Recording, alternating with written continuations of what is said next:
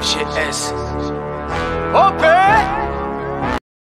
Yo, salut mes humains, c'est OP, j'espère que vous allez bien, bienvenue sur ma chaîne YouTube, content de vous retrouver pour cette petite vidéo débrief PSG Brest, septième journée de Ligue 1. Paris s'est imposé 1-0, remonte à la première place du classement de la Ligue 1 Uber Eats. Bon, petit score les gars.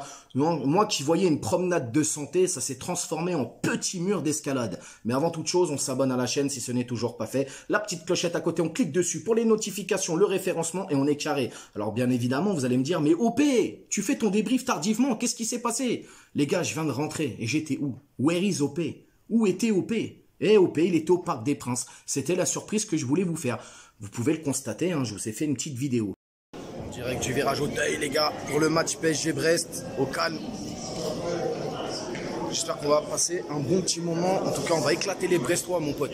Donc voilà, les gars, j'étais au Parc des Princes et puis euh, j'ai pu quand même observer un peu le match. Donc, je me suis refait un peu quelques actions à la maison, histoire de vous faire un débrief quand même dans son ensemble et de qualité. Hein. Aussi, je vais aussi voir par rapport et justement expliquer moi ma vision quand j'étais dans les tribunes. J'ai bien évidemment chanté les gars.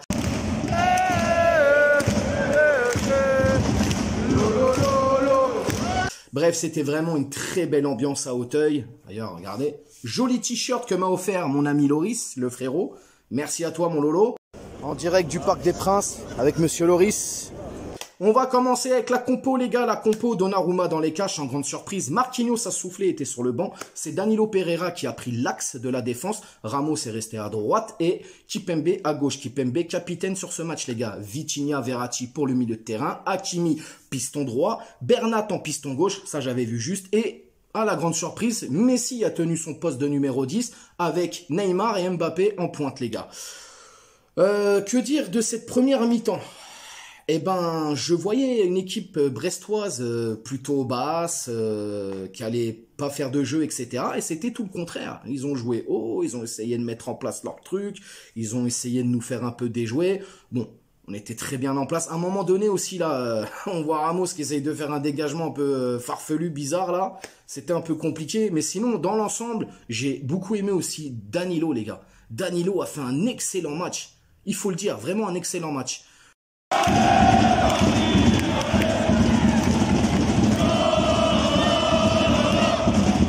Euh, dans l'ensemble, une bonne première mi-temps, ça a été.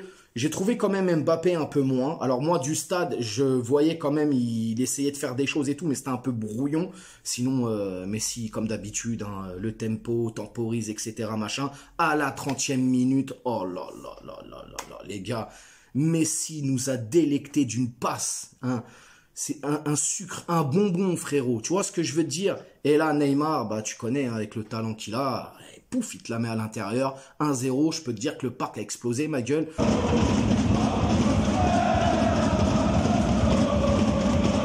Bref, Première mi-temps, euh, ouais, sans grande surprise, tu vois, ça a été, euh, bon, on s'est montré quand même tout de même dangereux par rapport à Brest, même si Brest ont essayé de pousser.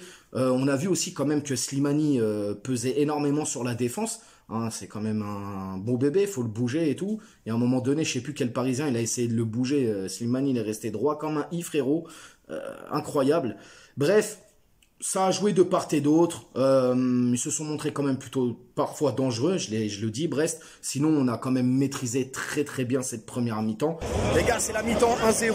Franchement, ça chante, il y a de l'ambiance de ouf, hein Lolo Tu kiffes ou pas? Incroyable, je kiffe, je me casse la voix. Allez, Paris. Je prends mon pied, je kiffe, c'est incroyable.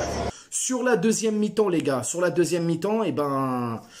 Et eh ben c'est une autre physionomie. J'ai trouvé là, Brest par contre était plus bas. Euh, ils, ont, ils ont, quand même, on va dire, ils ont mis un peu le bus, hein, faut pas se mentir. Et puis nous, on a essayé, on a essayé d'attaquer, on a essayé de percer le truc.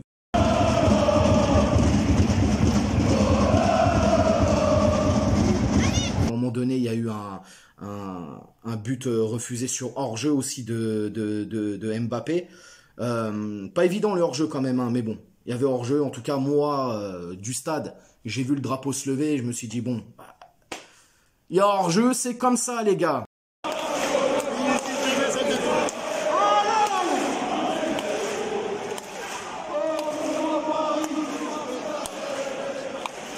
Ça va jouer. Brest attend, Brest essaye de construire, Brest essaye de faire des choses. Paris est costaud, Paris ça tient. Danilo, il prend tout de la tête, frérot. Il arrive au milieu, il prend tout du milieu. Verratti, Vitinha, c'est propre comme Jaja, hein, on va pas se mentir. Euh, Neymar, j'ai trouvé euh, plutôt bon, même euh, même s'il a mis un but, j'ai quand même trouvé plutôt bon dans, dans son apport dans le jeu. Messi, pareil aussi. Bernat, je l'ai trouvé aussi très bon. Franchement, dans l'ensemble, on a fait un bon match. On va pas se mentir. Ça a été, ça a été plutôt positif. Et à un moment donné, il y a un fait de jeu, les gars. 20 minutes avant la fin du coup de sifflet final, il y a un penalty pour Brest. Slimani prend le ballon, s'en va tirer. Et là, Donnarumma, frérot, il te le sort. Je vous mets la vidéo.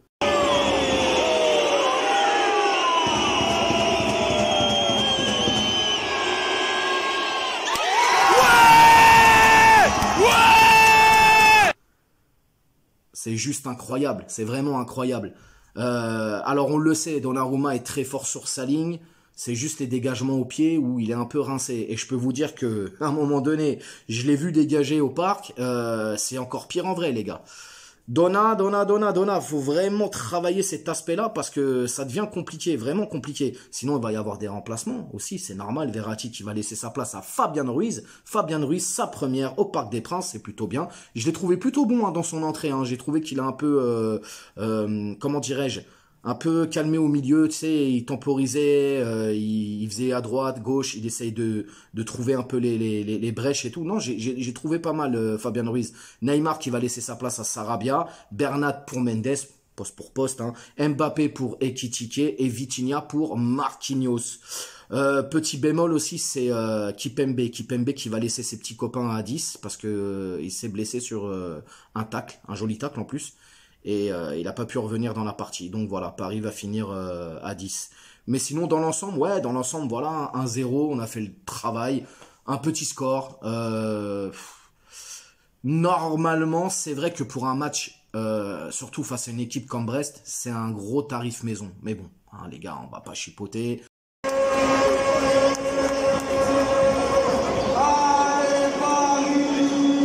C'est le début de saison, 1-0, c'est une victoire, c'est 3 points. Donc voilà les amis.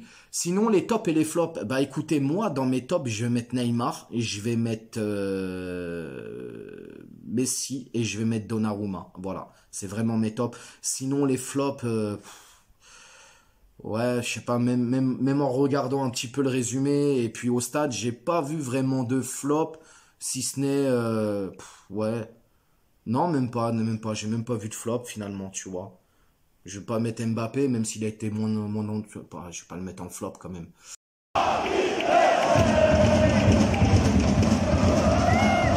Bref, en tout cas, dites-moi vous dans les commentaires vos tops et vos flops.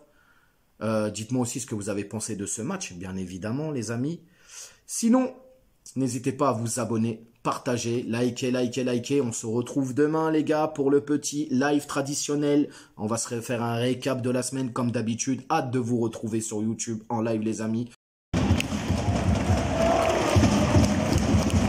Bravo, les gars, bravo Et puis, je vous dis, bah, je vous dis à demain, tout simplement. Passez une très bonne soirée. Ciao, ciao.